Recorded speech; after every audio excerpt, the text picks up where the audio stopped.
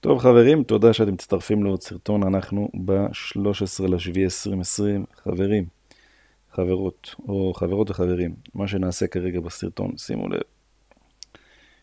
תראו, אני הרצתי סקר אתמול, הרצתי סקר בערוץ, אה, ושאלתי כמה זמן סלאש ניסיון יש לכם בשוק ההון או, או מניות, כן, שזה אותו דבר בסך הכל. אה, וככה, שימו לב. אז בי פאר או בפער, אה, יש הרבה חבר'ה שנמצאים פה שהתחילו רק שנה ראשונה, 62 אחוז. יש פה גם הרבה שאין להם מושג קלוש, יש הרבה שהם בין 3 ל-5 שנים, וכל השאר פה 5 אחוז ו-5 אחוז זה חבר'ה מתקדמים וקרישים. אז חברים, אמרתי, אני צריך לפתור את זה, ואיך אני יכול להעביר לכם את התוכן, שימו לב. איך אני אה, יכול להעביר לחבר'ה מתחילים, לחבר'ה שנמצאים שם שנה אחת. אה, ככה, אז עשיתי פלייליסט, תראו, עשיתי פלייליסט, ככה, שיש בו סרטונים כאלה, בורסה, מניות, עמלות, מתחילים, אה, חמש טיפים מתחילים למתחילים בשוק ההון, חמש יתרונות השקעה במניות לטווח ארוך, איך למצוא מניות, איך לפתוח חשבון ולהזין נתונים באתר Investing. כן, חברים, בקיצור פלייליסט אה, שיכול לעזור למתחילים. כמובן, חברים, אני הייתי ממליץ אה, לפתוח את התודעה וללכת גם לערוצים אחרים. יש גם ערוצים ישראלים. אה, ערוצים מחו"ל, עשיתי לכם פה גם, יש פה סרטונים עם רשימה של המון המון אתרים. אתרים לידע איכותי ולימוד מניות באינטרנט בחינם, שימו לב, הכל בחינם. הפלייליסט הוא גם לימוד שוק ההון ומניות בחינם, חברים. יש פה מה זה מניה, איך, זה מאוד מאוד מאוד מאוד חשוב, שימו לב, סרטון מאוד מאוד חשוב, איך לשלוט ברגשות בזמן השקעה במניות. אה, שבע, שבעה אה, דרכים לזהות נוכלים בשוק ההון. אוקיי חברים, אז יש פה רשימה נחמדה. אה, ככה, איך אתם הולכים להיכנס אליה? אתם הולכים לערוץ. כן, אתם הולכים לערוץ, שימו לב. דרך אגב, אם אתם רוצים לבדוק ערוץ מאוד מאוד טוב, ידע איכותי, אה, יש פה אה, ערוץ בשם Financial Egg, שימו לב, Financial Egg, מעלה כמעט כל יום או כל יומיים סרטון, מאוד מאוד מעניין, מסביר על שוק ההון, מניות, אופציות אה, ואינטראקטיב, חברים, למי שרוצה ללמוד על אינטראקטיב, Financial Egg. איך אתם הולכים לפלייליסט ששמתי לכם. שימו לב, בואו נעשה ככה. אתם מחפשים ביוטיוב את עופר מימון, או שאתם נכנסים לערוץ, נכנסתם לערוץ. אוקיי, אתם הולכים, יש לנו בית, סרטונים ויש פלייליסטים. פלייליסטים, לוחצים, והפלייליסט הראשון הוא לימוד שוק ההון ומניות בחינם. שימו לב, בחינם. אוקיי, מקווה שעזרתי עם זה, חברים. אה, נראה איך הסקר הזה מתפתח עוד איזה יום יומיים ואולי אה, נוסיף עוד כמה עניינים על זה. טוב, אני עובר עכשיו חברים, שימו לב, אני עובר לתיק אה, תיק השקעות 2020, תיק מניות 2020, אנחנו מתקרבים לשיא שלנו שם. ובואו נראה מה קורה פה עם המניות, שימו לב, אז אתמול דיברתי על מניות אה, נדל"ן שמושפעות מהידיעה. בואו נראה אם אנחנו יכולים לראות את זה עוד פעם. אה. כן, אז הידיעה שהעביר שר האוצר שר האוצר כץ לגבי זה שהוא הולך להוריד את אה, מס על קנייה של דירה שנייה ושלישית מ-8% לחמישה אחוזים, אוקיי? וכנראה שזה הולך להזרים אה, משקיעים חזרה לשוק ההון, אה, לשוק הנדל"ן, כן, לשוק הנדל"ן, וזה הולך להזרים כסף, כן? אה, אז גם אתמול אה, דימרי אה, זינקה ב-9 אחוזים, וגם היום אפשר לראות דימרי שעולה בעוד 5 אחוזים, ואינרום בנייה עלתה אתמול ב-7 אחוזים בערך, והיום בעוד 10 אחוזים. כן, חברים, אז תחום הנדל"ן הופך להיות מעניין.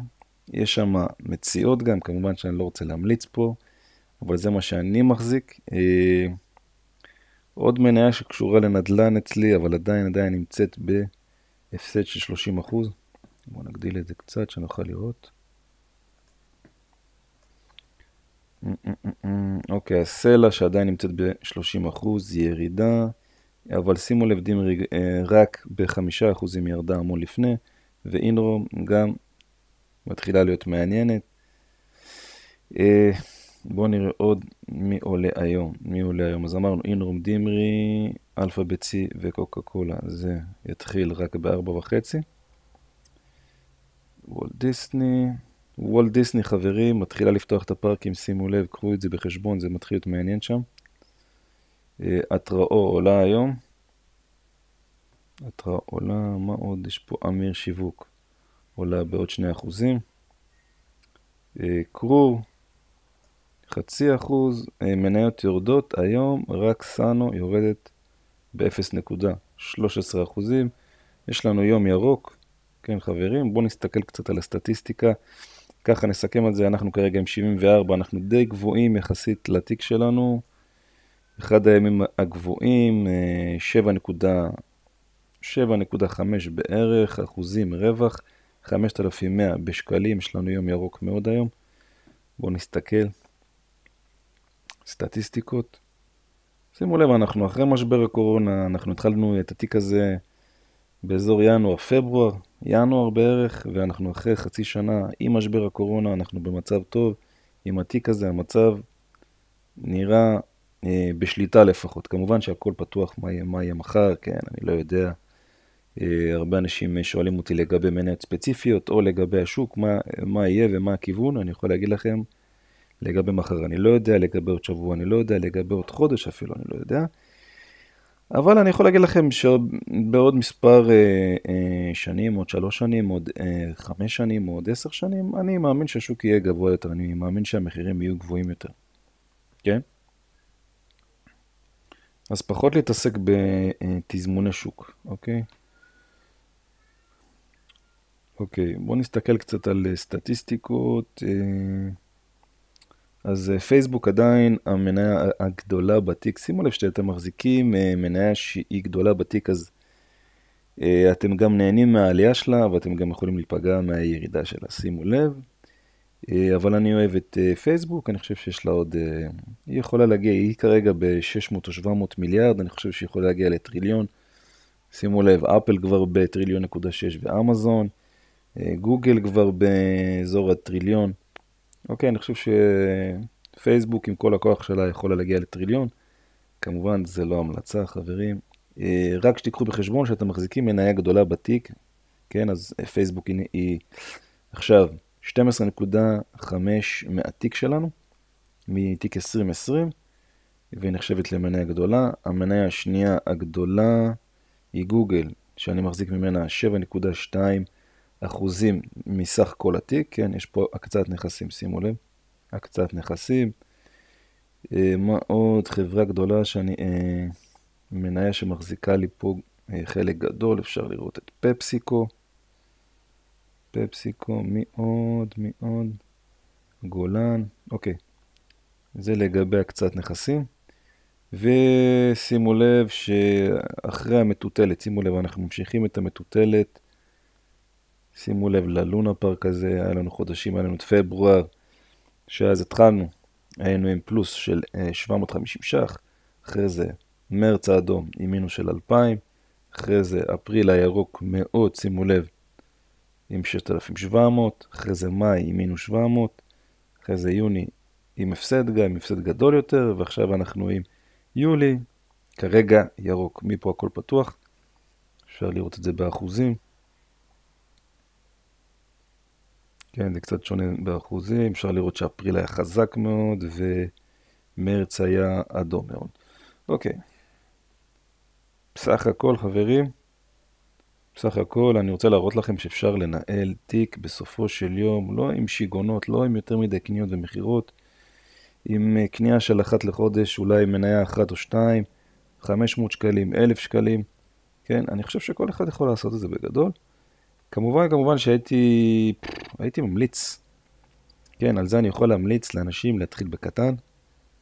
להתחיל בקטן, לקנות אולי תעודות סל, אולי קרנות אה, אה, מחכות על מדדים רחבים. שימו לב, אם אתם רוצים להתחיל, איזה טיפ קטן, להתחיל עם כסף ממש קטן, להתחיל עם אה, אה, מקום שנותן לכם עמלות נמוכות עד כמה שאפשר, ולהתחיל עם אה, תעודות סל על מדדים רחבים, זה אומר להלן, אם אתם עושים את זה בארץ, אני גם הייתי אומר לכם שעדיף להתחיל בארץ, כי העמלות נמוכות יותר. נגיד לקחת את מדד תל אביב 125. למה אני אומר שעדיף להתחיל עם זה? כי המדד הזה הוא פחות תנודתי מאשר מניות. אוקיי, אני יכול לתת לכם דוגמה.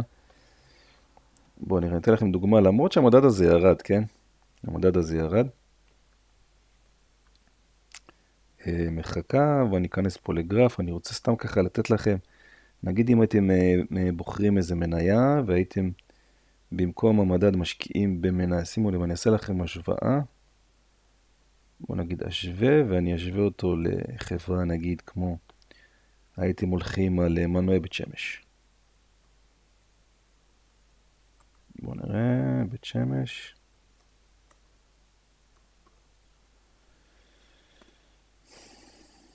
מנועי בית שמש, אז אני עושה השוואה. שימו לב, אני עושה השוואה בין בית שמש לבין, אני אקח פה קו אדום, אוסף, ותראו עד כמה מנועי בית שמש אה, תנודתית יותר, כן, כמובן ביצועים יכולים להיות טובים יותר, אבל כמה היא הרבה יותר תנודתית ממדד אה, TA 125. בואו תראו, נגדיל את זה, ונעביר את זה לחודשי.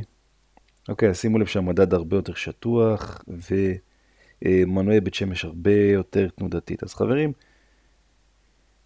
אם אתם, אה, אם אתם חדשים, אם אתם לא עם הרבה הרבה ניסיון של שנים, להיכנס לחברה כמו מנועי בית שמש זה מסוכן.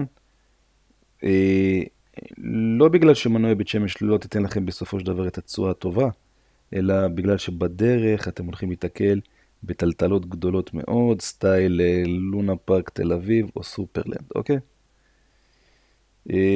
עדיף, עדיף, עדיף, עדיף מדד, חברים, תיקחו מדד והוא אה, פחות אה, תנודתי, כן? ואני אומר להתחיל עם אה, מדד רחב בכסף קטן, 500 שקלים, 500 שקלים בחודש, אפילו תשימו לכם את זה עם הוראת קבע או משהו, כדי שכמה שפחות להכניס לזה רגש. אתם תגידו, שנייה, קניתי וזה ירד, אז זה לא טוב, אז אני רוצה למכור ואני רוצה לקנות, ואחרי זה זה יעלה, ותגידו למה לא קניתי עוד. כן, חברים, אה, בגלל זה אתם צריכים להתנסות עם עסקאות. כל הזמן להתנסות עם עסקאות. לפחות לעבור איזה חצי שנה, שנה, שנתיים של עסקאות כדי להבין לא רק את השוק, להבין את מדד הרגש שלכם בתור משקיעים. כן, חברים? חברים, חברות. טוב. עד כאן, אז דיברנו, אה, דיברנו על, אה, ככה, דיברנו על הפלייליסט, חברים. דיברנו על הפלייליסט, אה, תיכנסו, יש פה סרטונים למתחילים בהרבה. אוקיי, אז אתם הולכים לעופר מימון ונכנסים לפלייליסטים ולוקחים את הפלייליסט של לימוד שוק. אה, לימוד שוק ההון, מניות בחינם. חברים, יש שם סרטונים נחמדים למי שרוצה להתחיל. דיברנו על מניות, מניות הנדל"ן שמזנקות היום, וגם אצלנו בתיק אינרום ודימרי. ודיברנו על, השיק, על התיק בכלל, על השיק, אה, על תיק 2020, שנמצא, מתחיל לגרד את ה-C, מתחיל ככה לגרד את ה-C, עדיין לא. ה-C שלנו היה A פה, A שם פה. כן? אבל בסך הכל, בסך הכל נראה שהביצועים משביעי רצון, לפחות לפי מה שאני רוצה. אוקיי. עד כאן חברים, אם אתם אוהבים את התוכן, תירשמו, תעשו לייק, תלחצו על הפעמון, כמובן שכל מה שאתם רואים פה בסרטון או בסרטונים לא מהווה תחליף לייעוץ מקצועי או המלצה להשקעה כלשהי. חברים, נתראה later.